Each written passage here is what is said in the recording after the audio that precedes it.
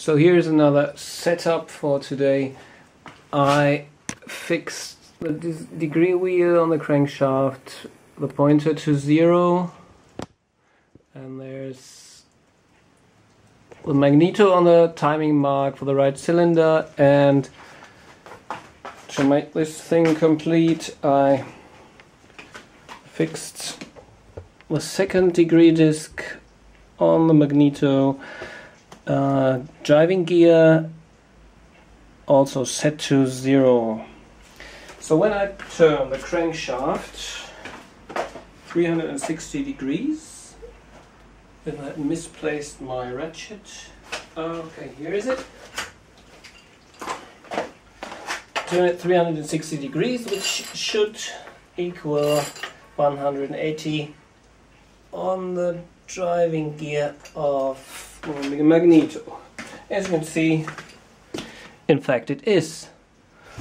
But if you look at the other side, there's not really matching the timing mark.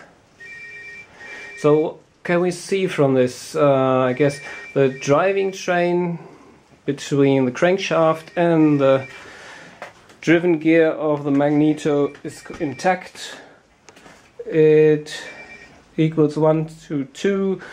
Uh, 360 degrees on crankshaft means 180 exactly on the driving sprocket of the magneto. But the magneto in itself doesn't turn full 180 degrees.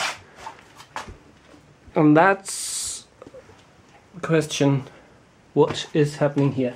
If I turn it another 360 to the second mark, all is well again. Matches perfectly. You can see the zero here. And you can see the zero here.